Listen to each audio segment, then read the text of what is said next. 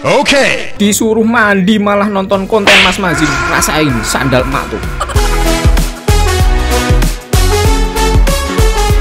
Alright, berjumpa lagi dengan Mas Mazing Mas Mazing yang asli Yang ada botaknya teman-teman ya Kita kembali lagi dengan konten bocoran kali ini Setelah kemarin kalian skip videoku Karena bukan konten bocoran dan kalian gak mau nonton Oh mantap ya Alright, langsung kita ke gas ke konten yang pertama Eh, kita bahas apa ya? Bocoran ya? Pasti bocoran dan kemungkinan pasti ada gratisan-gratisan Oke, di server Indo ada event baru Collection Party ya, menghadirkan bundle dari Merciless Necromancer nih, satu set kemarin sama yang Woodpecker dan juga Desert Eagle kalau nggak salah ya. Dan di sini kita akan coba spin dengan 200 diamond, apakah bisa dapat? Langsung gaskan nggak dapat ya. Oke, kita satu spin spesial, eh bukan nih, spin 10 diamond dulu ya. Oke, dua kali terus langsung kita gaskan ke spesial spin satu kali, apakah bisa dapat? Nggak dapat kemarin aku dapat di jenggot PNL itu pakai cara ini tapi sekarang mungkin udah diubah ya. Jadi nggak bisa dapat kita pakai lagi special spin nggak dapat oke fix. Ini susah sih ya. Kalau susah gini kalian mending stop dan kita tunggu aja dia hadir di crate ya. Crate 30 diamond walaupun sampai 2050 besok ya. Huh? Alright, di server Indo juga sudah rilis yang namanya Pet Mania. Ini untung rilis nih. Jadi bocoranku kemarin bener ya. Kalau nggak rilis aku auto dibully lagi nih. Bocoran kok satu persen bener 90% salah. Bang, bang. Nggak kapok-kapok. untungnya rilis ya, untungnya rilis dan memang benar ada mode Pet Mania dan di server Indo itu hadiahnya seperti ini ya, teman-teman ya. Ada tiket Luck Royal dan juga tiket custom room untuk Pet Manianya itu sendiri ya. Oke, seperti itu untuk hadiahnya di server Indo. Dan juga ada hadiah skin dari Pet Robo ya. Dan ini di server Singapura ya, server Singapura untuk negara Malaysia. Itu hadiahnya adalah Pet Robo, bukan skin ya. Keren sih hadiahnya. Ini harusnya seperti itu untuk event pet pet pet seperti itu, pet pet pet itu harusnya hadiahnya ya petnya bukan bukan skinnya Bambang ya kan waduh Alright, berikutnya ini masih di server Singapura ya. Ada event top up ya, top up flying slipper atau sandal terbang ya. Oh, sandal terbang nih. Siapa yang sering dipukuli mamanya karena bandel disuruh mandi malah nonton konten Mas Mazing, disuruh TPA malah nonton konten Mas Mazing. Waduh, Anda perlu ditampol dengan sandal terbang ini ya. Ini 300 diamond di server Singapura dapat sandal swallow terbang skin knife ini ya. Dan kapan nih kira-kira di Indo ini? Ada bonus top up sekeren ini, nggak cuma bonusnya tuh glue terus sampai muntah-muntah aku. Oke, langsung kita bahas untuk bocoran utama kita. Ada yang tanya kemarin ya dari Ace Gaming, The Ace Gaming. Mas Mazing coba review isi guild token merah itu buat apa dan gunanya buat apa, Bang? Alright, sebenarnya ini konten sudah pernah aku bikin ya untuk bahas dari Guild War ini. Pernah sedikit aku bocorkan di kontenku bongkar advance server bulan kemarin ya. Tapi kemungkinan kalian lupa, sudah lupa. Jadi kita akan bahas lagi untuk Guild War. Jadi besok itu akan ada fitur Guild War ya selain dari turnamen Doktek setiap hari Jumat itu ya. Jadi akan ada Guild War. Oke, sebelum kita bahas tentang Guild War lebih jauh, kita bahas dulu sedikit tentang Pet Mania nih karena aku tadi sudah sempet ngicip-ngicip nih, udah sempet nyobain Pet Mania, ternyata seru. Mantap juga sih mode Pet Mania nih. Walaupun aku teringat sedikit game lain ya. Ini kemungkinan besar ini mencontek sih mencontek atau plagiat dari game lain. Game game ini loh teman-teman ya. Game Stumble Guys ya kalau di versi Android. Kalau di PC itu Fall Guys ya. Itu mirip sama yang Stumble Guys itu nyontek Fall Guys dan yang ini Petmania nyontek ya gitu. Pokoknya saling contek mencontek biar sukses ya kan.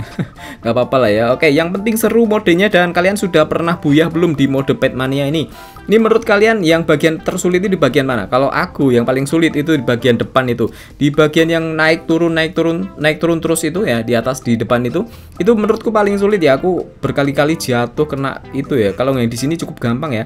Karena cukup arahin ini analognya terus kita loncat aja udah bisa. Tapi yang di depan ini cukup sulit sih menurutku ya. Jadi kita harus tunggu untuk itu bloknya atau baloknya itu naik ke atas baru kita loncat ya. Karena kalau posisi dia itu turun kita pasti jatuh ke bawah ya tapi kalian pasti sudah ahli, sudah fase di sini pasti langsung buya kalian ya, mantap sih. Oke, berikutnya kita bahas lagi ya tentang Guild War tadi, oke? Kalau game yang Petmania tadi mencontek dari Stumble guys, kalau yang Guild War ini ada yang bilang sih, banyak yang bilang rumornya itu dia mencontek konsep dari game Clash of Clans teman-teman. Karena di sini misi kita adalah menghancurkan barak-barak, di mana kalau di Clash of Clans juga menghancurkan barak-barak musuh ya. Dan di sini sama konsepnya ya, kita harus menghancurkan barak musuh dan pesertanya itu minimal kita harus mengirimkan perwakilan dari guild kita, satu guild ya, bukan random ya, itu 8 orang. Dan mod mode permainannya sendiri ini sebenarnya belum ada, belum pernah rilis ya, belum pernah kelihatan. Tapi di sini aku kemarin sudah sempat screenshot di Advent Server kemarin Ya sedikit penjelasan dari modenya itu seperti ini. Jadi misi kita adalah meng mengumpulkan supply box yang berwarna kuning-kuning itu ya Yang bertebaran ataupun dia respawn di map ya. Mapnya itu bisa di shipjet ataupun mungkin map baru ya. Terus setelah itu kita dapat banyak. Kita bawa ke base kita atau ke barak kita ya.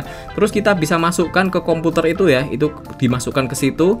Supply tanda panah ke bawah itu kita masukkan datanya supply-nya. Terus nanti akan muncul di atas itu ya Di atas di poin itu kosong-kosong itu akan bertambah dengan jumlah sesuai dengan supply yang sudah kita kumpulkan dan kita bawa ke barak ya. Dan hati-hati di sini pasti ada musuhnya ya karena mereka sama-sama juga mengumpulkan supply. Jadi pasti akan ada orang yang menghalangi kalian untuk mengambil supply-supply. Dan pastinya akan ada bocil-bocil tersesat yang tidak tahu gameplay cara bermainnya. Pasti mereka ngincernya musuh atau orang. Nggak ngumpulin supply-nya tapi malah ngincer atau nyari orang untuk di kill ya. Pasti ada bocil-bocil tersesat seperti itu. Salah satunya pasti kalian. Dan kalian juga bisa menghancurkan barak-barak musuh ya. Kalau kalian tembak dan hancurkan, itu akan keluar supply yang sudah dikumpulkan oleh musuh dan bisa kalian rebut dan kalian masukkan ke base ataupun ke barak kalian ya, atau ke markas kalian.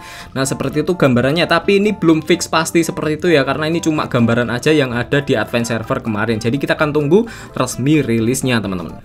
Oke, tidak lengkap kalau kita nggak ngebahas tentang hadiah-hadiah yang kita dapat di Guild War ini apa aja. Ini adalah bocoran atau rumor ya untuk hadiahnya besok ya yaitu ada dua tiket Gold Royal untuk kalian yang berhasil menang ya. Tentu saja untuk menang dari Guild Wardnya terus ada Guild Token dan juga ada Universal Karakter Fragment tentu saja ya untuk yang menang juga ya. Terus ada juga skin senjata atau crate senjata ya. Ini sepertinya mirip dengan yang hadiah yang sekarang yang di fitur Guild yang sekarang ya. Dan ini adalah diagram untuk hadiah apa tangga-tangga hadiahnya ya. Ada 50 supply itu dapat apa terus ada 100 200 ada 300 dan rumornya ada juga avatar ya avatar khusus bagi para pemenang Guild War adalah seperti ini teman-teman. Itu trial 30 hari. Dan ada juga untuk CN dan juga tiket-tiket weapon bukan itu gold royal eh Gold Royal dan juga Diamond Royal ya. Itu adalah info yang kita dapat di Advance Server kemarin dan apakah itu akan dirilis di server Ori besok fiturnya itu hadiahnya itu. Nah, kita akan tunggu teman-teman. Dan yang pasti kita akan tunggu terutama itu adalah hadiah emotnya teman-teman. Karena ada emot baru seperti ini ya. Emot memegang bendera berlogo Guild. Nah, ini apakah akan dijadikan hadiah utama dari Guild War ini atau apakah ini akan jadi bonus top up? Tidak semudah itu Ferguson. Alright, 12 hari lagi Diamond Royal akan berganti dan apakah dia akan berganti dengan bundle baru, bundle burung, bundle kuntul seperti ini? Karena tadi siang itu Bang Kulgar sudah bikin konten muncul bundle burung di game Free Fire dan apakah dia akan hadir sebagai pengganti dari Diamond Royal? Kita akan tunggu 12 hari lagi teman-teman. Semoga aja rilis ya bundle kuntul ini karena cewek pasti suka nih bundle ini. Mantap soalnya. Oke, okay, berikutnya ada event juga besok ya sebagai pengganti dari event Golden Glare Token Tower Shotgun Golden Glare yaitu bundle Red Devil atau setan merah yang sedang terpuruk ya. Bundlenya keren sih seperti ini, tapi sayangnya dia hadir di Faded Wheel dan pastinya dia akan memakan korban banyak diamond ya. Untuk bundlenya sendiri aku akui cukup keren ya, cukup mantap ya, tapi sayangnya itu pasti akan mahal dan kalau kalian nggak oke bisa habis 1400 diamond. Jadi ya skip aja lah kalau aku.